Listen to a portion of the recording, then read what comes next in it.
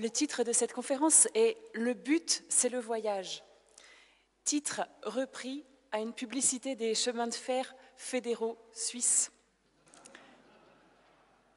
Dans une page célèbre, le critique littéraire Erich Auerbach a comparé une page biblique, le sacrifice d'Isaac, à une scène de l'Odyssée au champ 19, celle où l'ancienne nourrice d'Ulysse, Euryclée, lui lave les pieds au moment où il arrive sous d'un voyageur dans sa propre maison et le reconnaît à une cicatrice qu'il porte sur la jambe. Le chapitre s'intitule d'ailleurs La cicatrice d'Ulysse. L'auteur, fin connaisseur de la littérature occidentale, montre bien quelles sont les différences entre le récit homérique et le récit biblique. Il insiste entre autres sur le fait que le récit biblique tait bien des choses qui restent dans l'arrière-fond de la narration, Hintergründlichkeit, tandis que le récit homérique est au contraire prodigue de détails et raconte tout ce qu'il est possible de raconter, Vorgründlichkeit. Dans ces quelques pages sur la figure biblique d'Abraham, je voudrais à mon tour tenter, à la suite d'Auerbach, une brève comparaison entre le héros homérique et le personnage biblique sous deux aspects, celui du voyage et celui de l'hospitalité.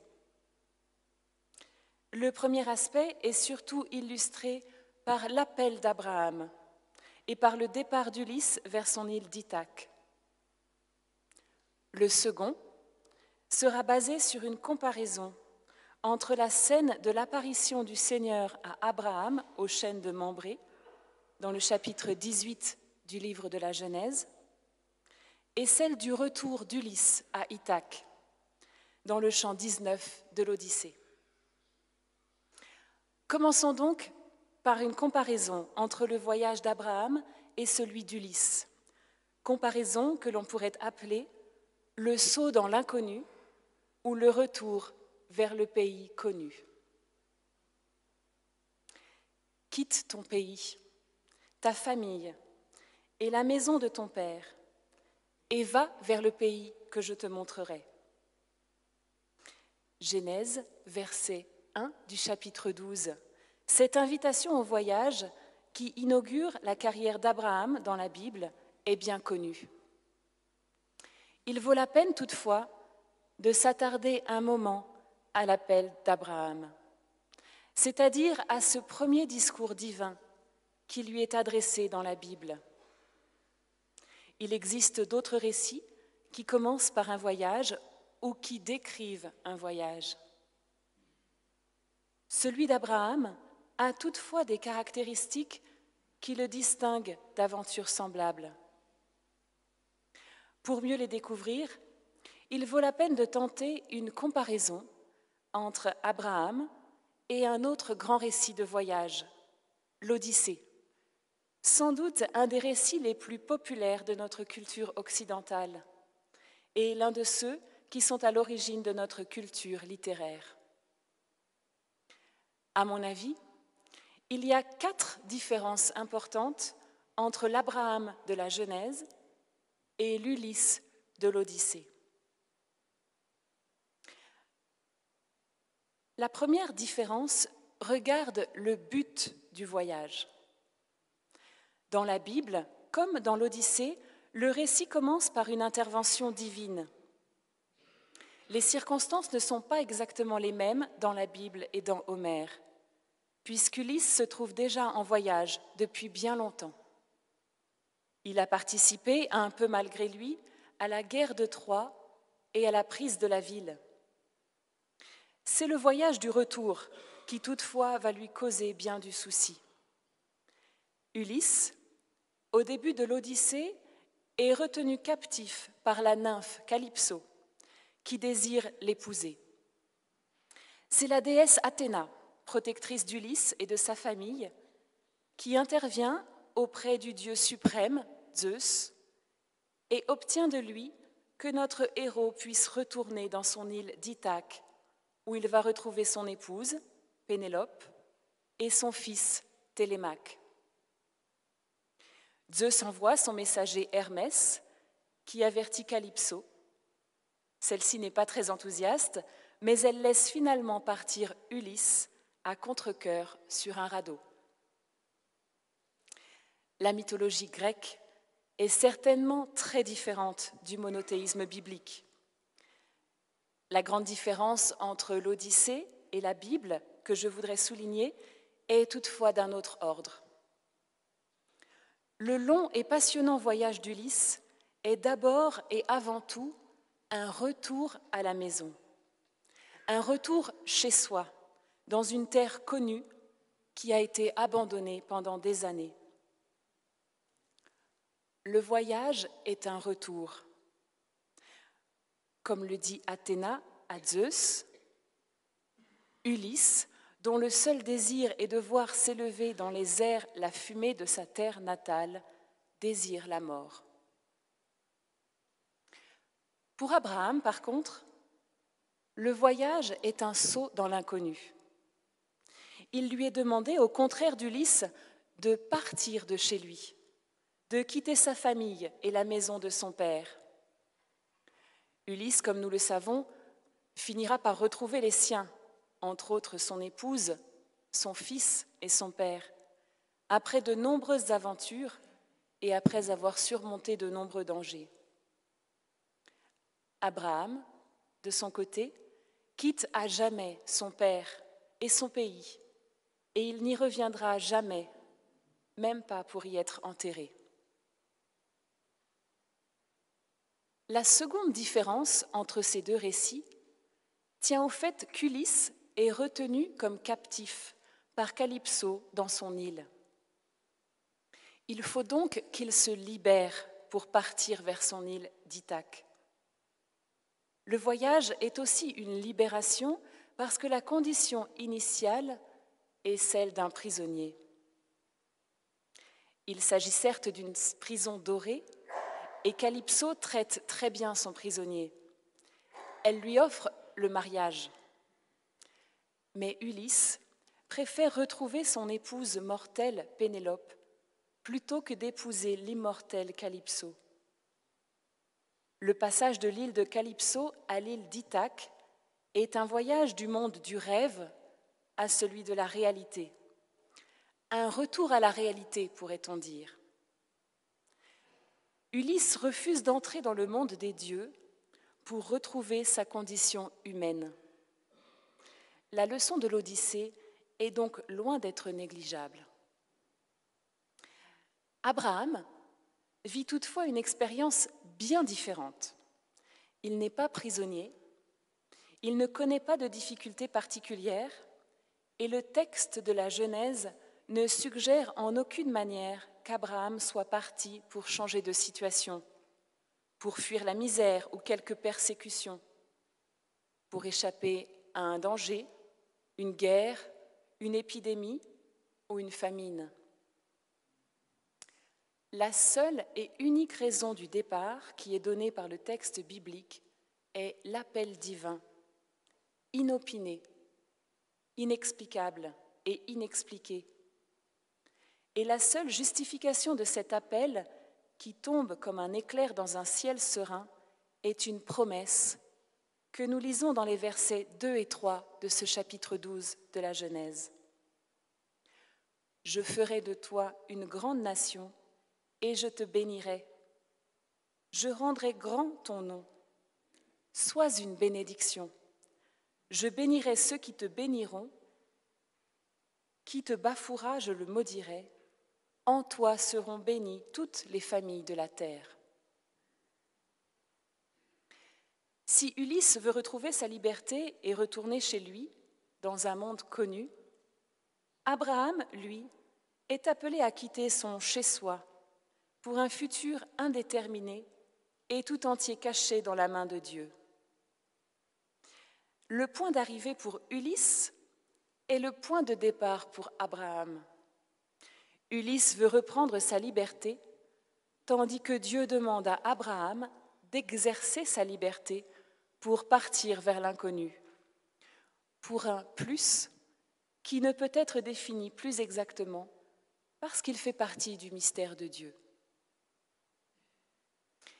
Une troisième différence peut être décelée dans le voyage lui-même. Comme chacun sait, Ulysse va affronter une longue série d'épreuves et de dangers parce qu'il est poursuivi par Poséidon. Celui-ci veut venger la mort de son fils, le cyclope Polyphème, qu'Ulysse a réussi à tuer dans son repère. Ulysse doit donc faire face à la vengeance du dieu de la mer. En ce qui concerne Abraham, il n'est nulle question de danger ou d'épreuve durant le voyage. Tout ce voyage est résumé en une seule phrase. Abraham partit comme le Seigneur le lui avait dit, et Lot partit avec lui. Il est vrai que les narrateurs bibliques n'excellent pas dans les récits de voyage, mais cette fois nous atteignons un sommet. Neuf mots dans le texte original hébreu. L'important pour le chant de la Genèse, c'est le voyage lui-même et non pas ses péripéties. C'est tout le contraire dans l'Odyssée. Comme chacun sait, Ulysse passe d'une aventure à l'autre et montre à chaque fois son astuce, son savoir-faire ou sa bravoure. Il est certain que les deux récits de voyage ont deux buts très différents. Le voyage d'Abraham souligne sa foi et son obéissance. Et c'est Dieu qui occupe toute la place dans le bref passage des versets 1 à 4 du chapitre 12 de la Genèse. Dans l'Odyssée, c'est au contraire Ulysse qui occupe la scène. L'Odyssée raconte ses exploits, ses actions héroïques. Et c'est bien cela le but de l'épopée. Ulysse est un héros valeureux qui force l'admiration pour ses dons exceptionnels, surtout sa ruse légendaire. L'action divine est pour cette raison assez différente dans la Bible et dans Homère, et c'est la quatrième différence que je voudrais développer brièvement. Le Dieu d'Abraham prend les choses en main. Dès le point de départ, c'est son appel qui fait d'Abraham le personnage que nous connaissons. L'aventure d'Abraham commence avec cet appel, et sans cet appel, Abraham serait resté dans son pays et dans la maison de son père. Le texte de Genèse 12, 1 à 4 est clair à ce sujet. Le projet de ce voyage est un projet divin, et ce n'est pas le projet d'Abraham. L'appel de Dieu est à l'origine du voyage d'Abraham et de son aventure spirituelle. En ce qui concerne Ulysse, les choses sont bien différentes. C'est lui qui désire quitter Calypso pour rentrer à Ithaque. Les dieux n'interviennent interviennent pour que son projet puisse se réaliser. L'initiative est humaine et le monde divin est au service du projet humain. Les interventions divines vont se succéder à plusieurs reprises et c'est en particulier Athéna qui vole au secours de son protégé. C'est par exemple Athéna qui intervient dans le Conseil des dieux pour qu'il puisse quitter l'île de Calypso au chant premier de l'Odyssée. C'est encore Athéna qui l'endort pour qu'il oublie ses peines lorsqu'il débarque sur l'île des Phéaciens après un terrible naufrage, au chant cinquième. Au chant septième, Athéna entoure Ulysse d'un brouillard pour qu'il ne soit pas dérangé alors qu'il se rend chez le roi des Phéaciens, Alcinos. C'est elle enfin qui protège le retour d'Ulysse sur son île d'Ithaque et lui conseille de se venger au chant treizième. Dans le cycle d'Abraham, il n'y a que deux cas, assez semblables d'ailleurs, où Dieu intervient de manière semblable à Athéna dans l'Odyssée. Regardons le premier.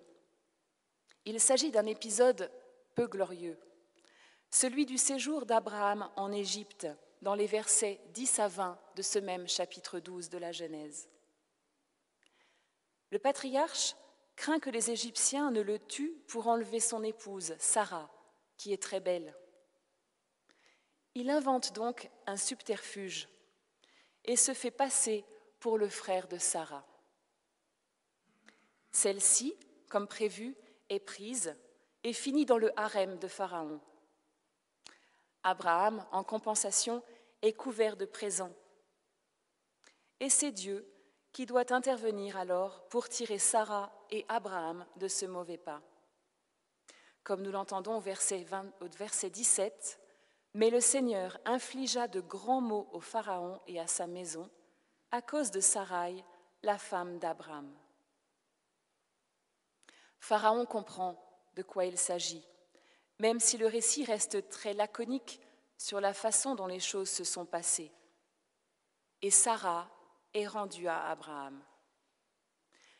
Dans ce cas de figure, Dieu vient à l'aide d'Abraham, mais c'est le patriarche qui a pris l'initiative de quitter la terre de Canaan pour aller en Égypte à cause d'une famine.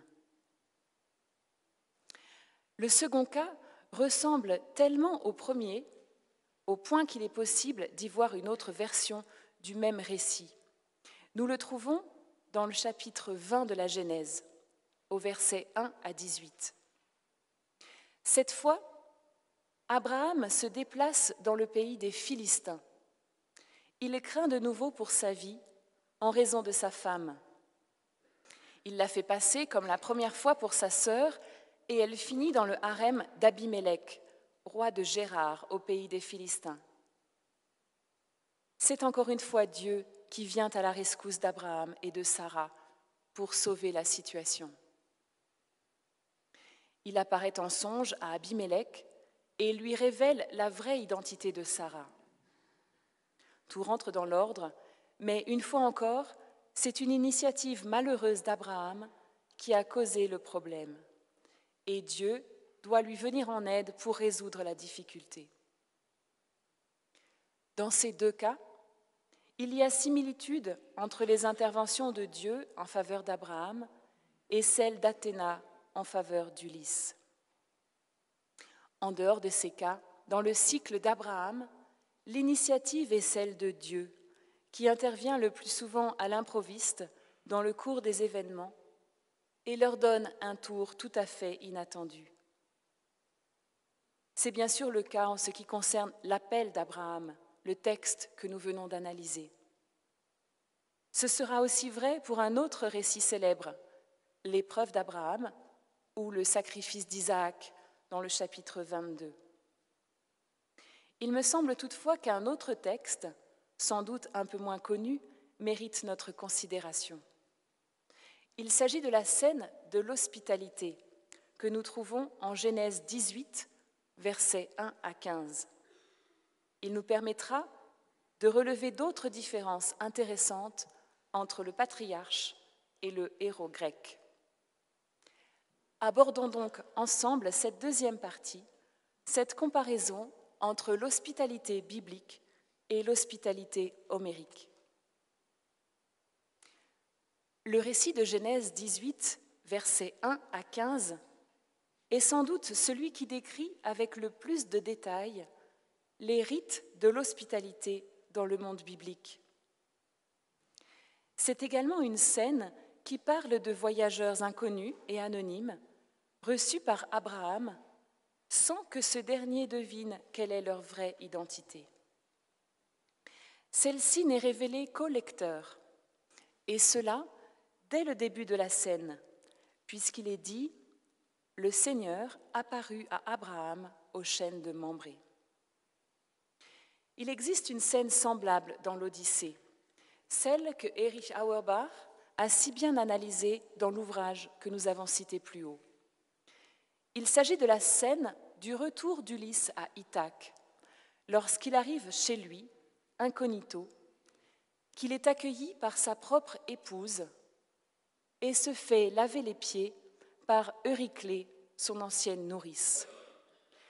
Nous sommes ici dans les versets 386 à 505 du chant 19e de l'Odyssée.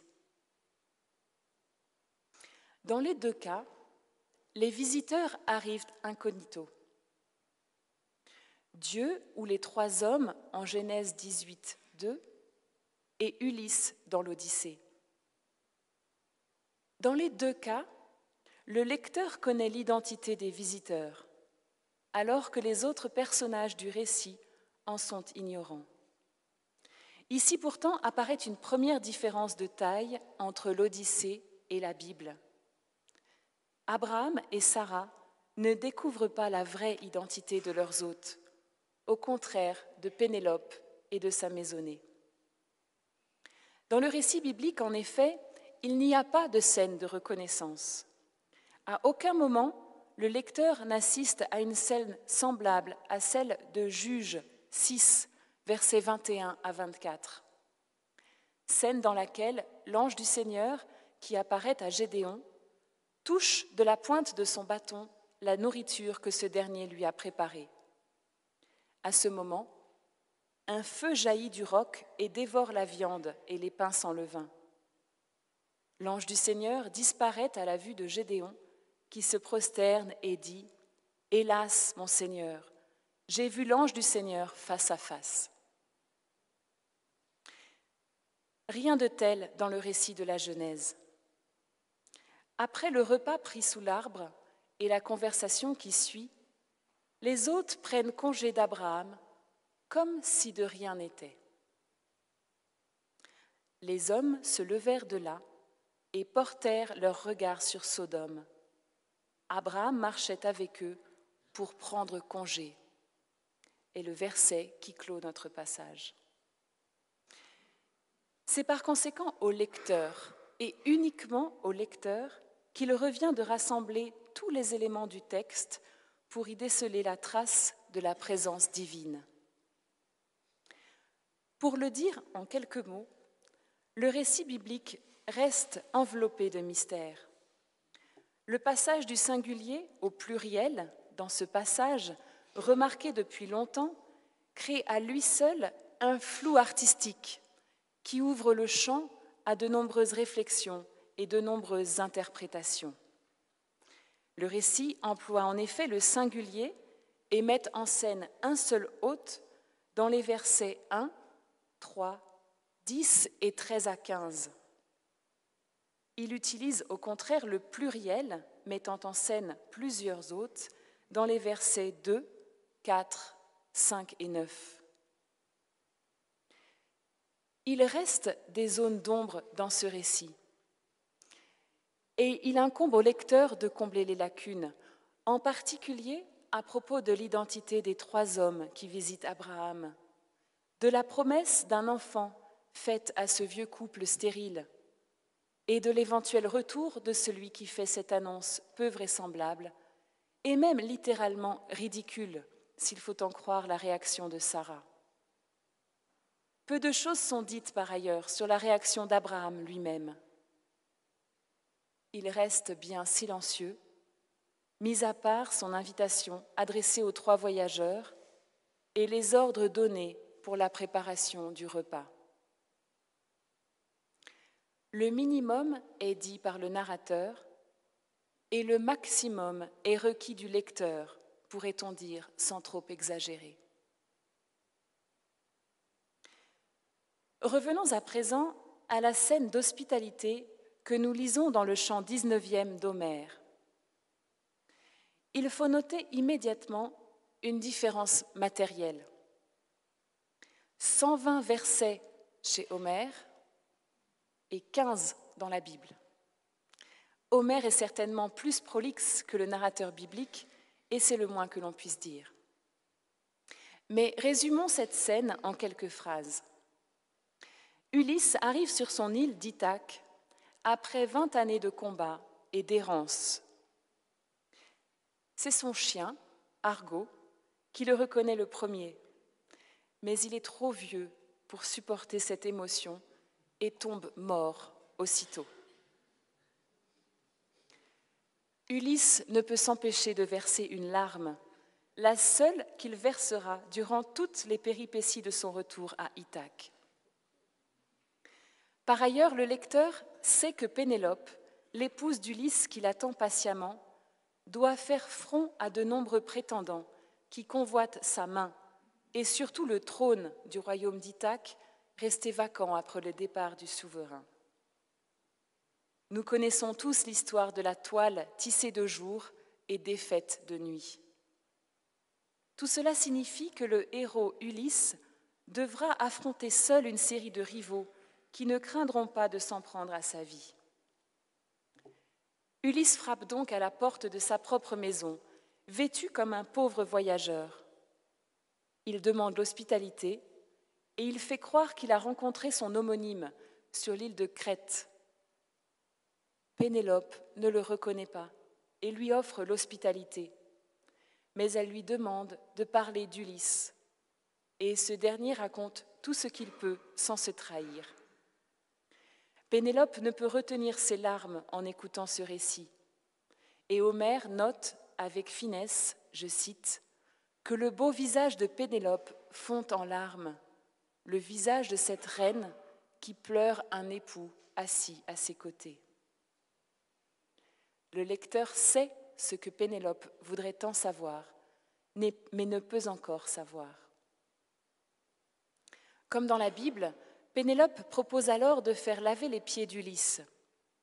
Celui-ci demande que ce ne soit pas une jeune servante qui lui lave les pieds, mais plutôt une servante âgée, tout comme lui.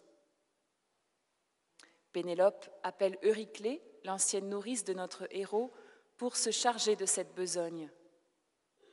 Cette dernière s'approche et note immédiatement la ressemblance avec Ulysse. Beaucoup de mendiants sont venus dans ce palais, mais aucun d'eux ne me parut par sa taille, sa voix et ses pieds ressembler autant que toi à l'intrépide Ulysse. Ulysse répond simplement que cette ressemblance a déjà été notée à plusieurs reprises dans le passé. Le moment où l'identité d'Ulysse va être dévoilée n'est plus très loin, et ces remarques annoncent l'instant décisif. Pour donner le temps au lecteur de vivre la scène suivante avec toute l'intensité voulue, Homère décrit longuement la préparation de l'eau pour laver les pieds, le mélange de l'eau chaude et de l'eau froide pour obtenir la température idéale. Notons en passant que rien de tout cela n'est dit dans le récit biblique. C'est le lecteur qui doit imaginer la scène des trois hôtes qui probablement se lavent les pieds avec l'eau apportée par une servante ou un serviteur. Ulysse, pour revenir à notre héros, se fait laver les pieds et la chose se déroule comme prévu, jusqu'au moment où Euryclée s'arrête tout net, parce qu'elle vient de sentir sur la jambe de son hôte la trace d'une cicatrice. Elle reconnaît aussitôt qui est cet homme à qui elle lave les pieds, parce qu'elle a elle-même soigné cette plaie bien des années auparavant. Homère introduit à cet endroit une des longues digressions dont il a le secret, pour nous raconter toute l'histoire de cette cicatrice, sans se soucier de savoir comment Ulysse va réagir maintenant que son identité est dévoilée. Nous apprenons tout sur le détail en question. Elle lui a été infligée par un sanglier au cours d'une partie de chasse sur le mont Parnaise, chez son grand-père Autolycos. Le jeune Ulysse, blessé, ne s'était pas laissé démonter et il avait tué le sanglier, faisant déjà preuve de bravoure. À son retour, il sera soigné par Euryclée, comme nous le savons. Tout ceci est raconté par le menu et occupe près de 70 vers. La naissance d'Ulysse, le nom du nouveau-né choisi par le grand-père Autolycos, l'invitation de l'adolescent à la chasse, le banquet qui précède la partie de chasse, le détail de celle-ci, l'accident d'Ulysse, les soins qui lui sont apportés et son retour sur l'île d'Ithaque. Rien de plus éloigné du style biblique, comme l'a noté Auerbach, et comme nous pouvons le constater nous-mêmes. C'est seulement maintenant que Homère reprend le fil de son récit, après une très belle inclusion au vers 467. Vous êtes Ulysse, oui, vous êtes mon cher fils, mais je n'ai pu vous reconnaître, ô mon maître, avant d'avoir touché votre cicatrice. Ulysse, alors, conjure Euryclée de ne rien dire. Pénélope est à deux pas et observe la scène. Mais Athéna intervient pour détourner son attention et l'empêcher de reconnaître son époux. Cette intervention divine est semblable à bien d'autres dans l'Odyssée, où les dieux tirent les héros d'un mauvais pas ou résolvent des difficultés dans la construction du récit. Comment, en effet, empêcher Pénélope de reconnaître Ulysse à ce moment précis? Homère a prévu bien autre chose, et il faut trouver un expédient pour renvoyer à plus tard cette scène des retrouvailles. C'est pour cette raison qu'il fait intervenir Athéna. Ce genre d'intervention divine existe aussi dans les récits bibliques, mais il est moins fréquent. Ériclée jure à Ulysse de ne rien révéler. Elle va remplir son bassin une nouvelle fois parce que sous l'émotion, elle l'a renversé.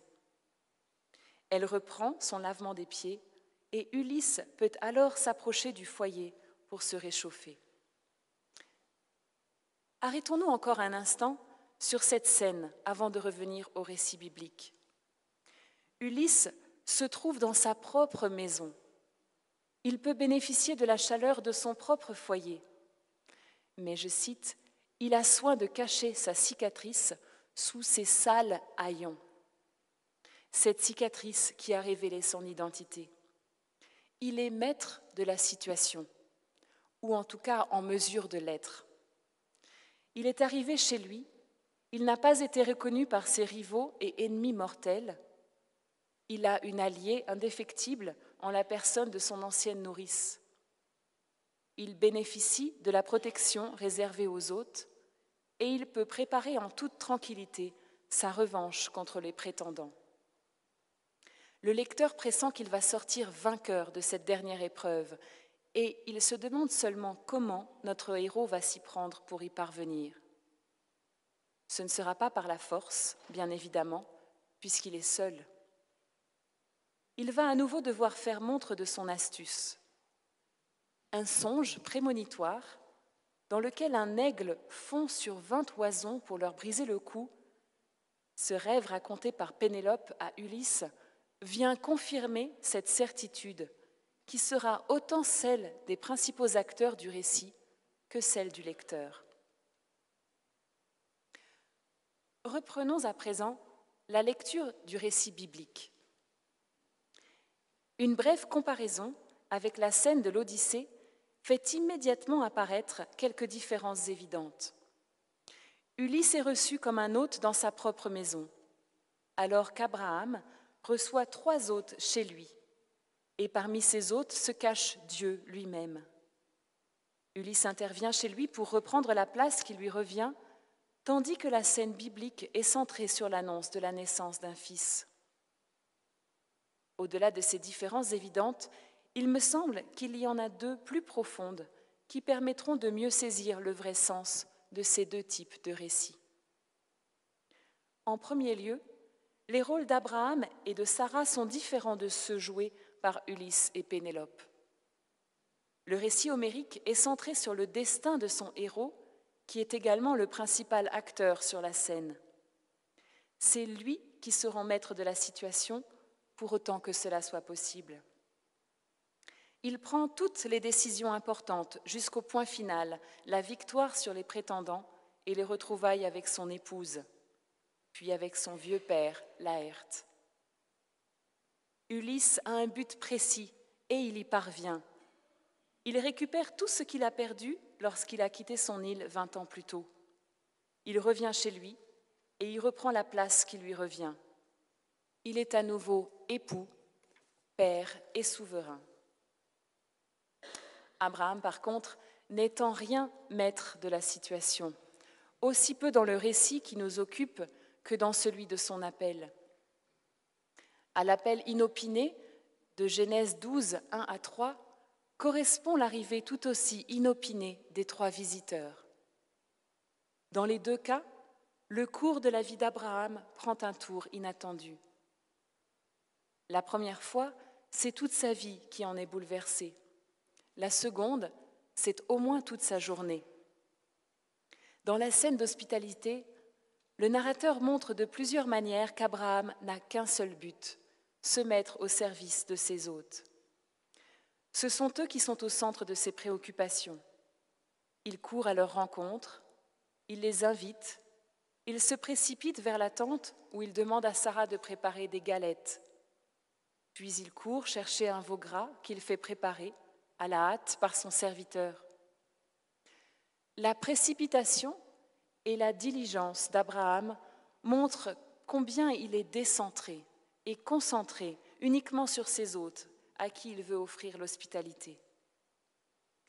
Ensuite, Abraham assiste à la scène de l'annonce de la naissance d'un fils, à la réaction amusée de son épouse et au dialogue avec son hôte sans souffler mot.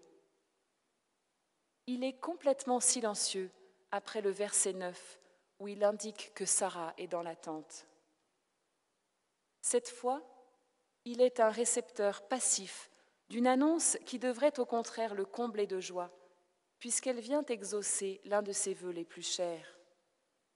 Sarah rit, incrédule, et Abraham ne réagit en aucune manière, comme s'il restait totalement indifférent et s'il n'était en rien concerné par une affaire qui est pourtant au cœur de sa vie et dont dépend la réalisation de toutes les promesses divines.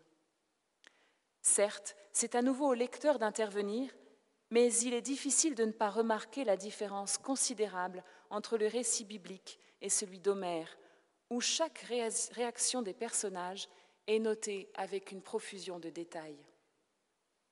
Ici, c'est l'annonce divine qui occupe toute la scène et son caractère incroyable souligné par la réaction de Sarah. Nous sommes dans un monde théocentrique, tandis qu'Homère vit dans un monde beaucoup plus anthropocentrique. Le monde d'Abraham est imprégné par la culture du sacré, tandis que celui d'Homère reflète une culture où le héros occupe une place centrale. Ce héros ne manque pas d'humanité, et il le prouve à plusieurs reprises, par exemple lorsqu'il verse une larme devant son chien Argo mais Ulysse est aussi le jeune adolescent qui triomphe de la sauvagerie de la nature, incarné par le sanglier du mont Parnaise, et qui préfigure sa victoire sur les prétendants. Il est aussi identifié dans le songe de Pénélope avec l'aigle qui fond à l'improviste sur vingt oisons. Nous sommes dans une littérature héroïque où le lecteur se délecte des exploits de son personnage favori. Une deuxième différence entre Homère et la Bible apparaît également ici. Abraham est loin d'être un héros, et son comportement en Égypte ou à Gérard chez Abimélec suffit certainement à le prouver. Abraham n'accomplit guère d'actions éclatantes, d'exploits hors du commun. Même l'épisode du sacrifice d'Isaac en fait un héros de foi et d'obéissance plutôt qu'un héros vainqueur de ses ennemis un héros dans les mains de Dieu plutôt qu'un héros qui tient son destin dans ses propres mains. Quelle leçon tirer de cette comparaison? Une leçon essentielle sur laquelle Auerbach insiste plus d'une fois. Les récits bibliques ne font pas de distinction de classe ou de style. Il y a peu d'exceptions. Les protagonistes des récits bibliques peuvent appartenir à toutes les classes de la société, alors que dans la littérature épique de la Grèce, ils appartiennent à l'aristocratie. Les actions décrites peuvent être des occupations de la vie ordinaire et non pas seulement des exploits ou des prouesses, comme dans les épopées d'Homère ou de Virgile. En un mot, les plus profondes expériences humaines ne sont pas réservées aux membres d'une classe sociale la classe la plus élevée. Et les actions qui permettent de faire ces expériences ne doivent pas nécessairement être exceptionnelles.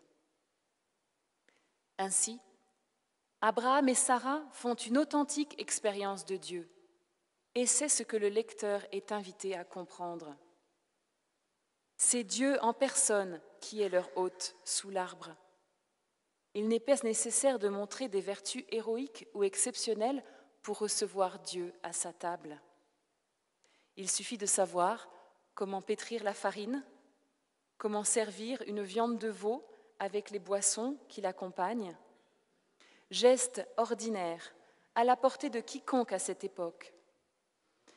Il n'est pas nécessaire, comme dans l'Odyssée, de tirer une flèche à travers les trous de douze haches placées en enfilade et ensuite de pourfendre une vingtaine de rivaux. Dans le récit biblique, Dieu arrive à l'improviste, un jour ordinaire, et demande seulement de bien faire ce que l'on fait d'ordinaire dans ces circonstances ordinaires. Abraham et Sarah se montrent généreux, certes, mais ils préparent un repas que pourrait préparer n'importe quel couple de pasteurs. L'extraordinaire de cette scène est inséparable de l'ordinaire du quotidien. Il est temps de conclure. Pour reprendre l'image du début, le but, c'est le voyage. Il me semble pouvoir dire que les deux héros qui nous ont accompagnés au cours de cette réflexion illustrent plusieurs aspects d'une même vérité. Ils appartiennent à deux mondes différents qui, chacun à sa manière, a profondément influencé notre civilisation occidentale. En tant que croyant, Abraham nous est assurément plus proche qu'Ulysse, mais ce dernier fait certainement partie de notre humanité, de notre humanisme. L'un et l'autre s'identifient à un voyage, un saut dans l'inconnu pour Abraham ou un retour dans le monde connu pour Ulysse, un parcours à découvrir ou inventer pour Abraham une place à récupérer pour Ulysse.